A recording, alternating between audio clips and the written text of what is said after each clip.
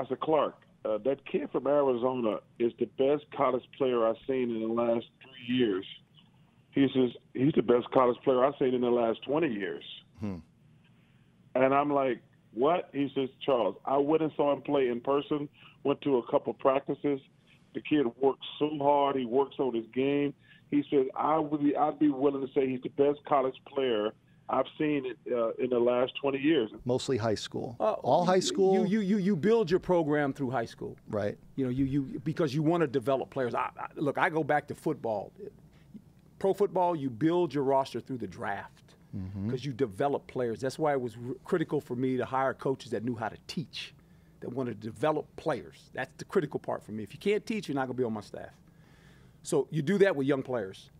You fill some holes in some slots with JC guys. I say that because I was a former JC guy.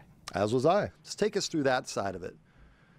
Well, we just had the uh, Brad. We just had the alumni game on Saturday, and it was uh, one of the fun things. Um, you know, watching the guys come into the ballpark for the first time and, and just kind of you know just stop at home plate and just look back and just say, "Wow, look at this beautiful stadium."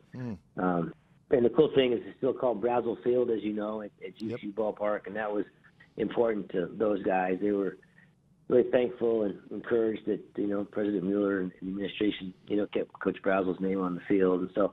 Um, but a lot of people don't really pay attention to it. It's just one of those things. It's a kind of almost a ritual that you have to do. I'm just being honest here. When you look across and see people standing, the fans, the players, whoever, um, I don't think there's a lot of attention being given to it. And obviously, which with what happened with Colin Kaepernick a few years ago and NFL players within the last two seasons, it's gotten a lot of attention again.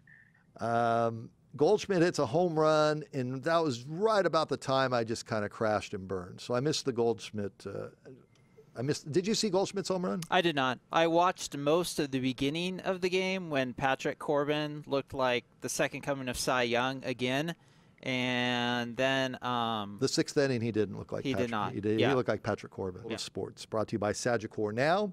Sagicor Now protect what matters most, and that means life insurance, guys. If you've not taken care of your life insurance, if you've never even thought about it, if something were to happen to you today, we'll get into Pedro's situation after this timeout, plus the Diamondbacks. Sports360az.com.